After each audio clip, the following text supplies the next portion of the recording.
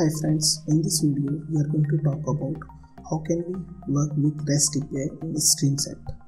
So for this video I am going to work with Spotify API. So let me open my browser. As you can see on your screen, I have opened the search endpoint of Spotify API.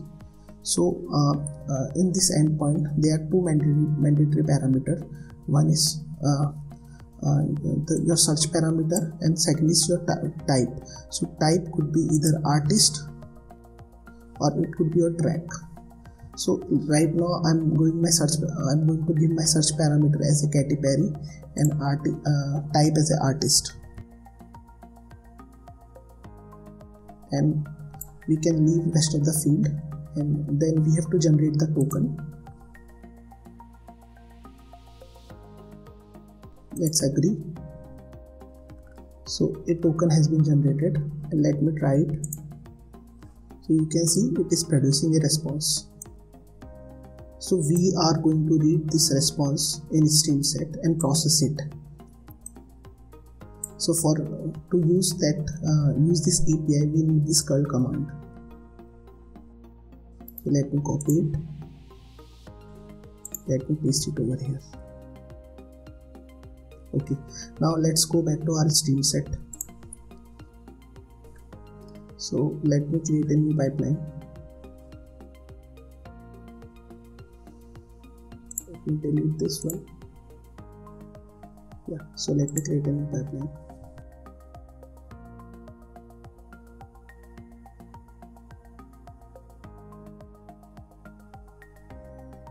So uh, to read the data from REST API we use HTTP client origin.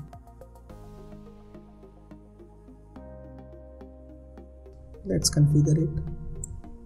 So first is your resource URL. So your resource URL is nothing but this quoted portion of the API call.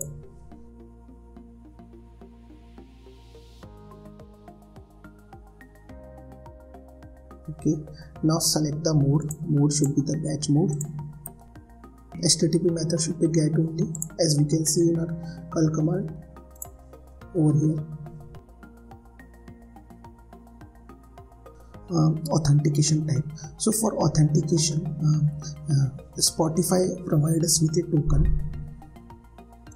This, this is called bearer token and the key to this token is authorization. And we have to pass this key value pair into our header. So let's go to the show advanced option and over here you can see headers. Let me add a new header. The key should be authorization. So this is the key. And the value is rest of the part.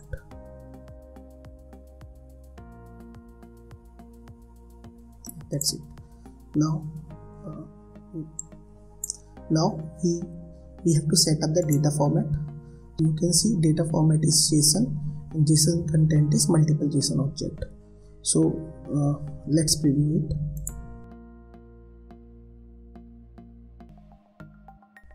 You can see we are getting one error saying json object exceeded maximum length. So what it is saying is like this origin is configured to read a uh, read a json object up to a particular length. And that length has been decided decided into the data format.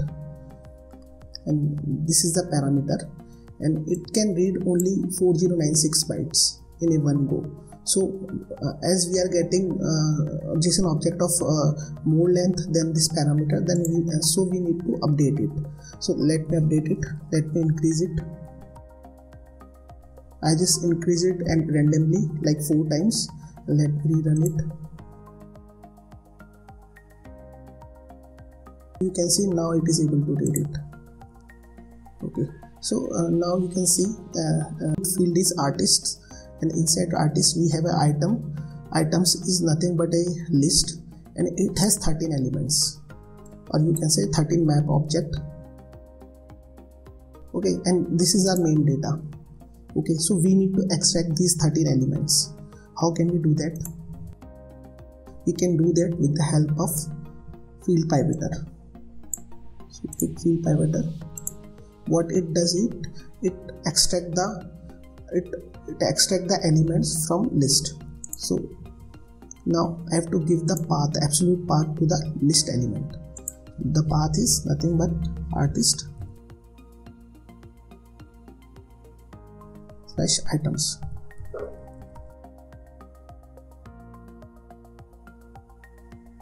and I don't want all field into my response. So let's preview it now.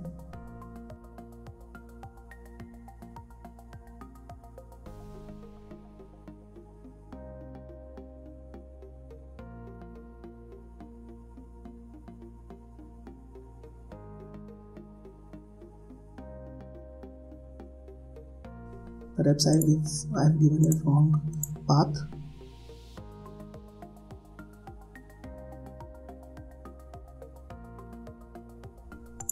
so yeah let's preview it again.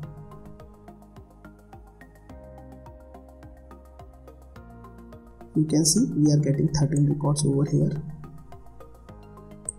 You can see over here they, show all 13 now in this in these records i don't want all fields i just want name uri there is a column called followers. So we want i want total followers these three fields i'm looking for. So so extract these for three fields uh, from each record we need expression evaluator so let me add expression evaluator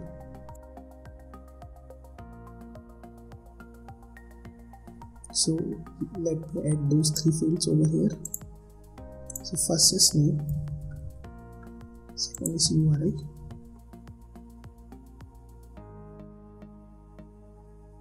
third is follower so name is nothing but name only. URI nowhere is followers are nothing but the followers slash total. That's it. So let me view it now. Let me remember the configuration as well this time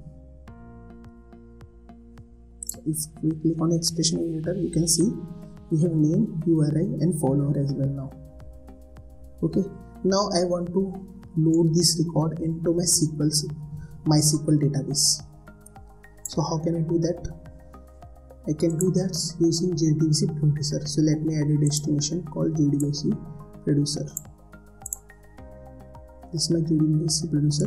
So in JDBC tab, I have to provide the connection string. So I have already created the connection string.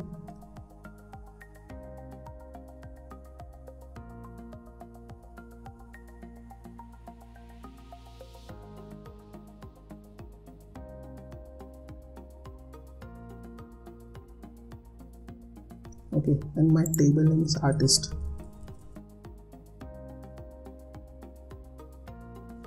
let me provide the credential as well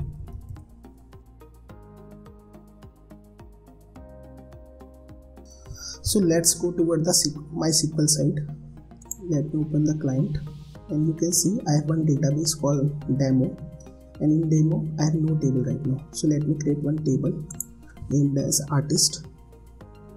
And it has all three fields name URI and follower.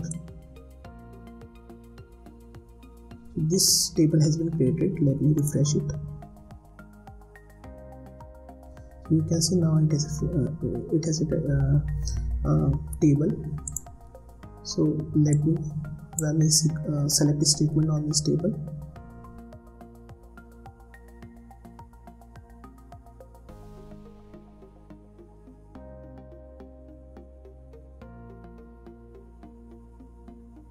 You can see this no data. Let me run the pipeline so you can see it has loaded 13 records into my JDBC producer it means in my SQL. so let me run the select again. You can see it has loaded all 13 records.